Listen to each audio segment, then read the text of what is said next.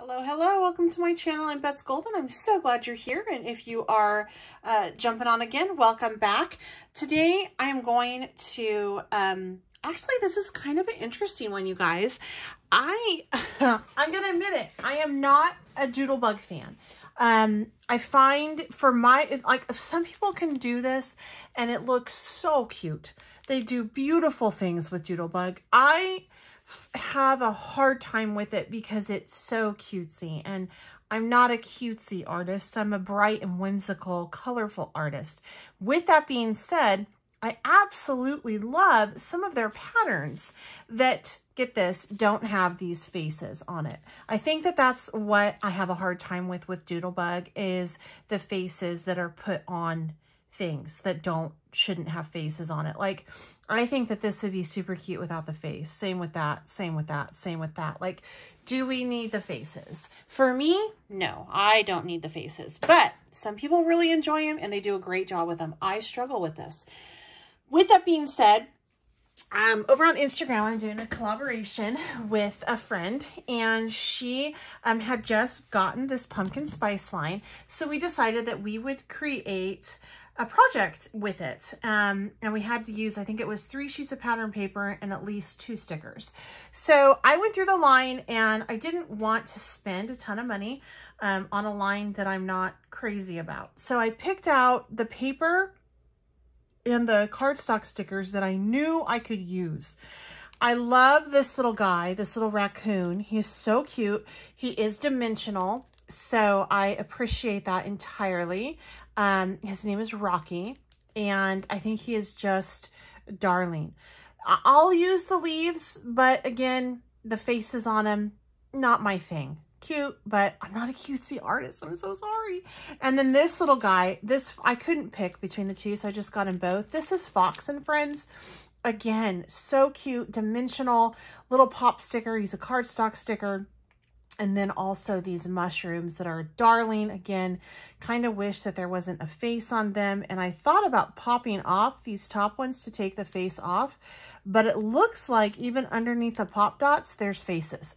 So I'm just going to leave them and work with them.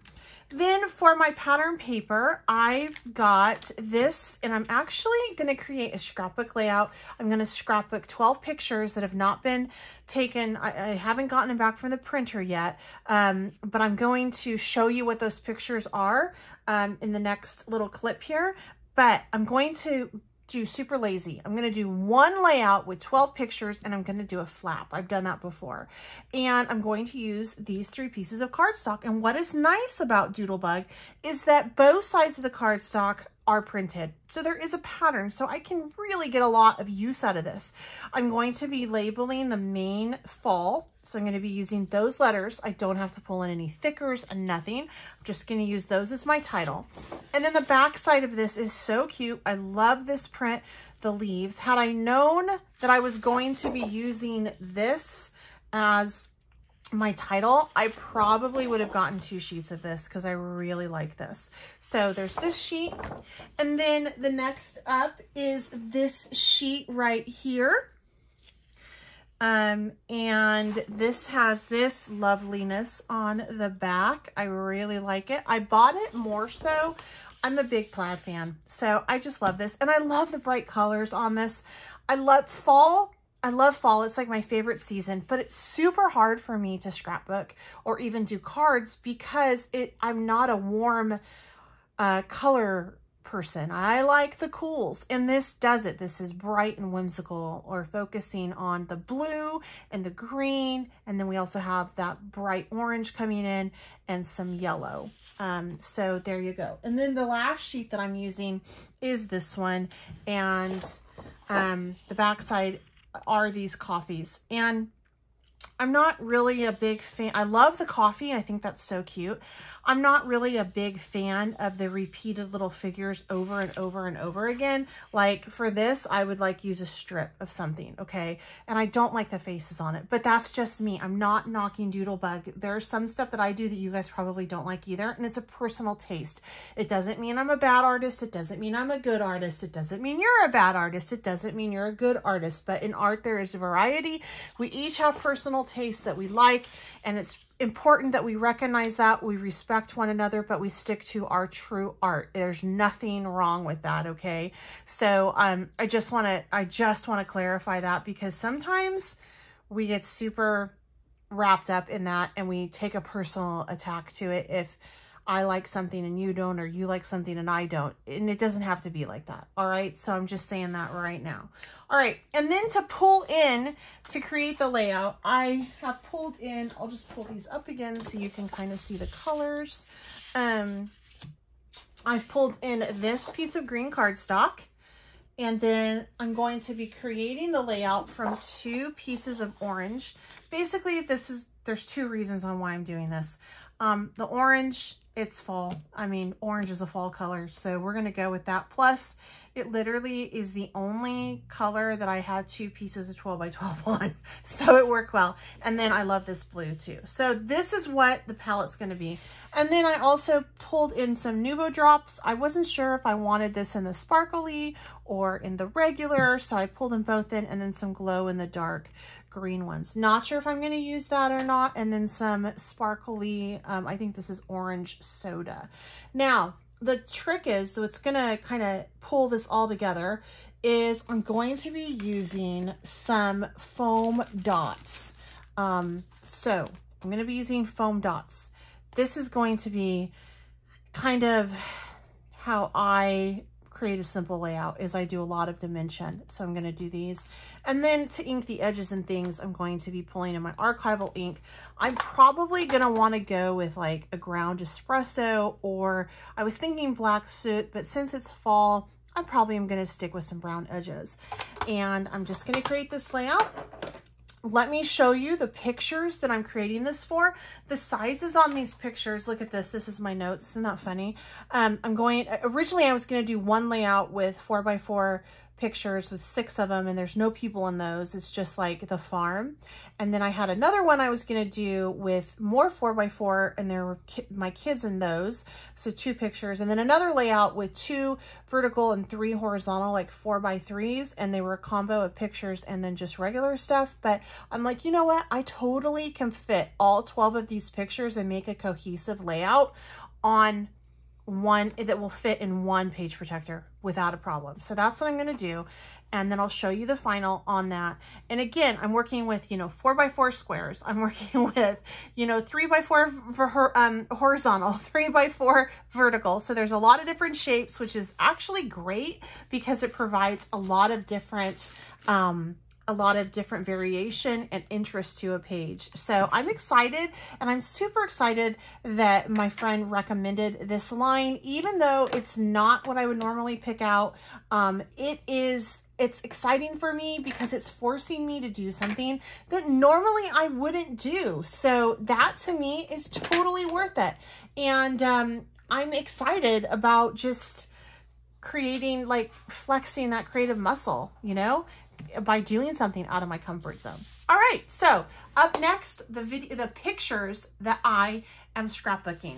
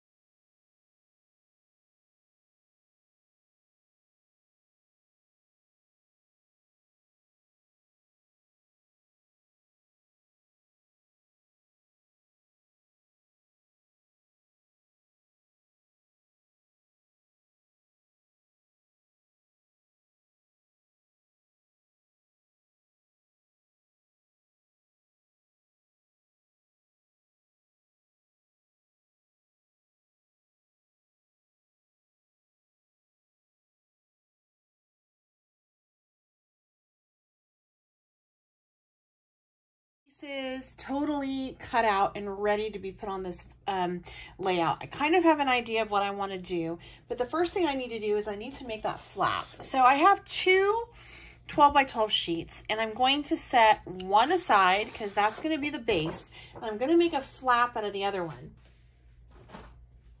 And I want my flap to fold in, I think I did seven inches.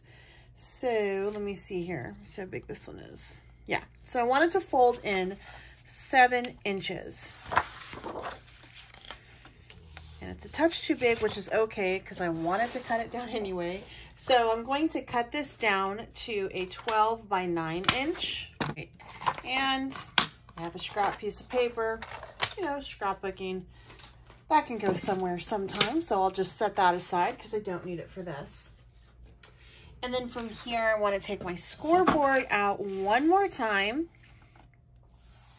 And I just want to score it along the seven inch mark. So right there.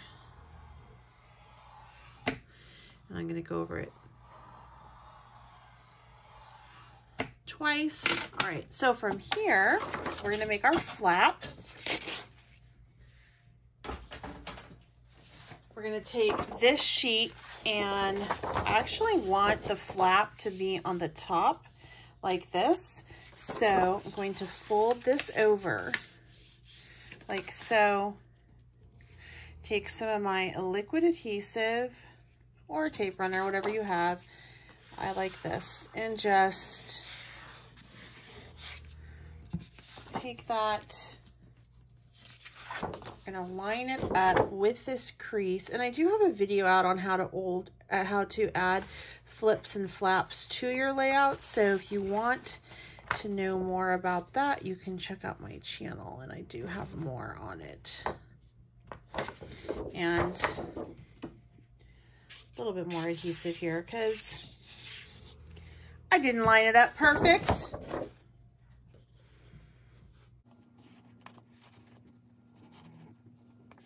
That's pretty good.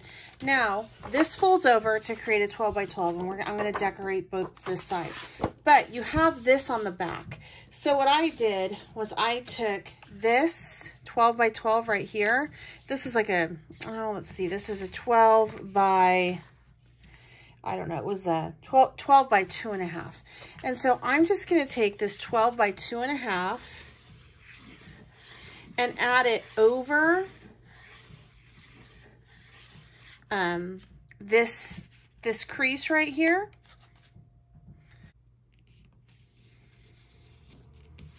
There we go. All right, so the back is done, the front is done, ready to pop that out, and I'm going to put the layout together and show you what it looks like when it's finished the layout, and I just have to put my pictures in, but this is what I have going on right here. I ran this little border down here, and I just made it go, it's like cohesive entirely through this layout and then through the back, which I'll show you in just a second. Um, whenever you're putting any kind of embellishment over where your picture is. Obviously, you don't want to glue it down along those edges because then your picture will overlay it. So I just put a pop dot on or I adhere it on the corner that is not covering any of the mats. And I did that one over here as well.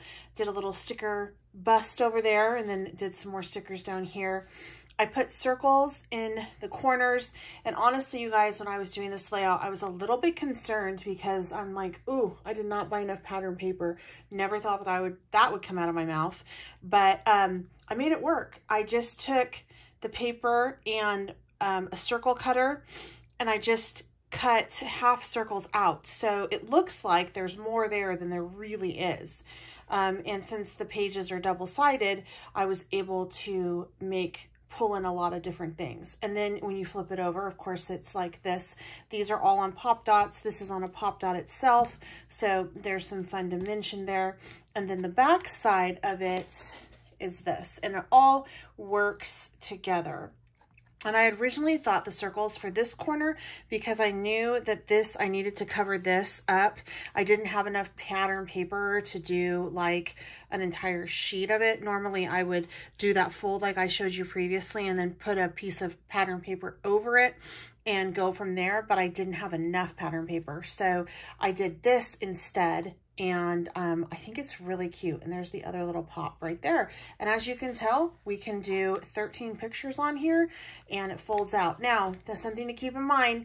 When you put it in your page protector, um, obviously, in order to fully extend out this layout, you're going to have to pull the paper out. Um, so just keep that in mind um, that if you do a, a top loading page protector, you're going to have to just take it out. Or I have seen where people slit the side um, and then this lays over the side. There's ways to do it, but I just put it all in there um, and then people can just pull it out. So anyway, I hope you enjoyed this, gave you some ideas on how you can create um, a layout with maybe some things that you wouldn't have thought to get personally.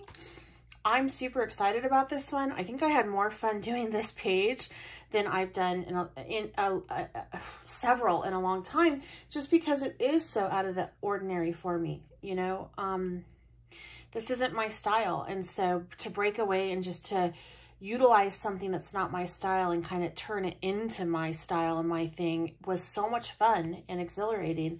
Um, so I encourage you to just you know, get out there and use something that maybe you don't think that you can. And you're going to come up with something pretty cool, I think. Um, and then also, if you're interested in any of the products I used, I will have them listed down below for you. Again, it, it was literally two little pop cardstock sticker packs, which are these little dudes, and three pieces of um, Doodle Bug um, pumpkin spice line and then just some cardstock out of my stash and then the Nuvo dots out of my stash as well. So I'll have everything listed for you so you can create your own, but this is a lot of fun. And make sure you check out my Instagram account so you can see what um, the other gal did with her same line. Until next time, I'm Bets Golden. Happy crafting.